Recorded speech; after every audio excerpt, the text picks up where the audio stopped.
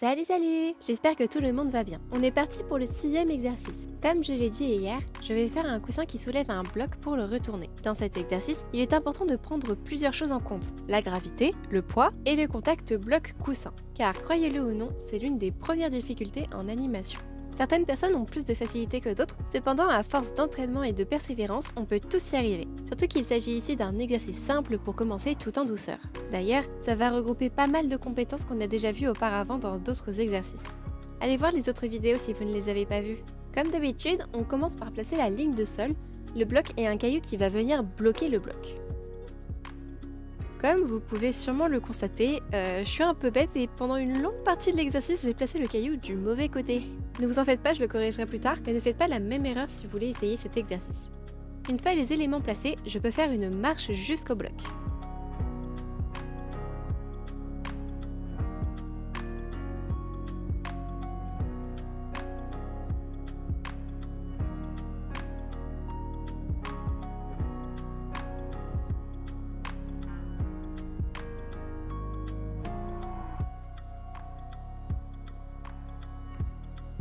Je pense avoir mis une frame en trop à l'arrêt.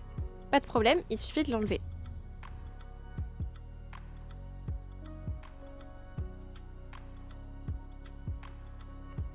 Ça rend plutôt bien pour l'instant. Maintenant, commençons le sérieux. Le coussin va frapper sa tête contre le bloc pour le faire bouger, et j'aime bien leur donner un côté un petit peu stupide. Alors il va d'abord pencher la tête sur le côté comme pour dire c'est quoi ce truc, puis il va prendre un peu d'élan pour frapper bien fort.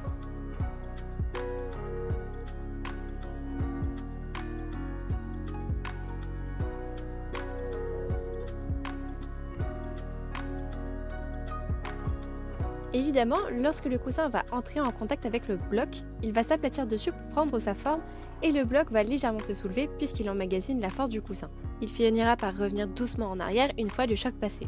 Tout ça combiné va donner une bonne sensation d'impact. Ici, j'ai juste un petit problème avec les oreilles quand il revient à une position neutre. Elles devraient encore être en mouvement. Souvenez-vous de l'exercice de la balle avec la queue. Et ça rend beaucoup mieux. Et là, vous pouvez voir que c'est à ce moment précis que je me rends compte que le caillou n'est pas du bon côté et que je le corrige enfin. C'est un coup beaucoup plus cohérent. Ici, le coussin va petit à petit appliquer de la force sur le bloc. Pour le faire sentir, je vais petit à petit faire glisser un de ses pieds vers l'arrière et le bloc va peu à peu se soulever. Le coussin va alors glisser peu à peu vers le dessous afin de l'attraper par le coin pour qu'il puisse enfin le retourner complètement.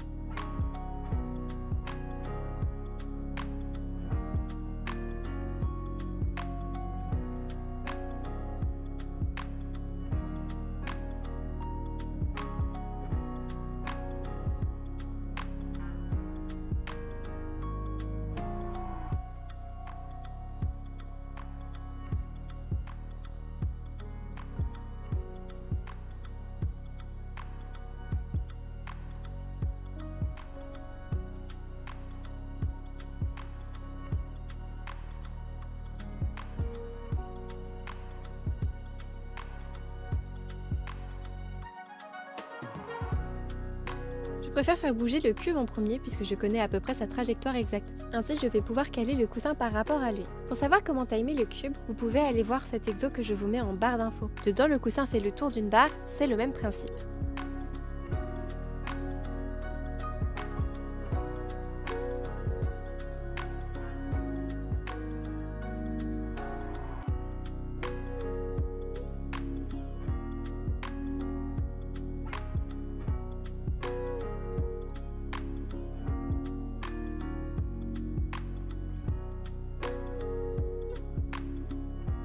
Pour toujours lui donner ce petit côté stupide, à la fin il va se rétamer par terre.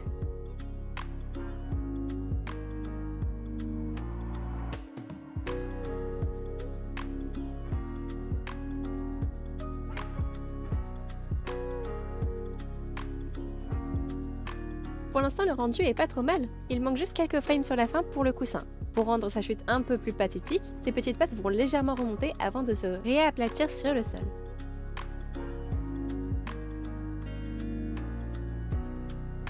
Je trouve qu'il manque une frame pour faire ressentir le poids du cube sur le coussin au moment où il est un peu en difficulté.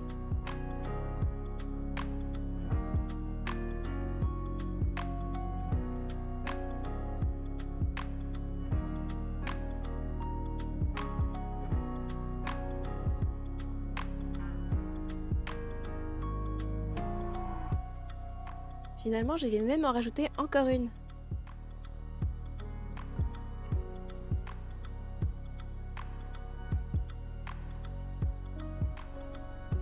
Et une autre quand il donne un bon coup dedans.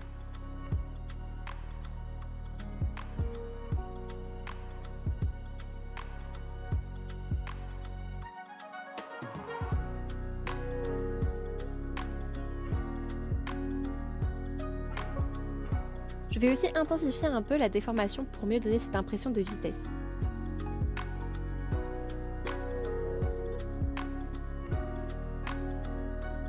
J'ai un peu galéré avec ce passage et j'ai dû recommencer plusieurs fois avant d'être satisfaite. N'ayez pas peur de recommencer si jamais vous trouvez qu'il y a un endroit qui cloche. À la longue, ça va aiguiser votre coup de stylet. Et ici, je rajoute une dernière frame pour le moment où ses oreilles et ses pieds retombent.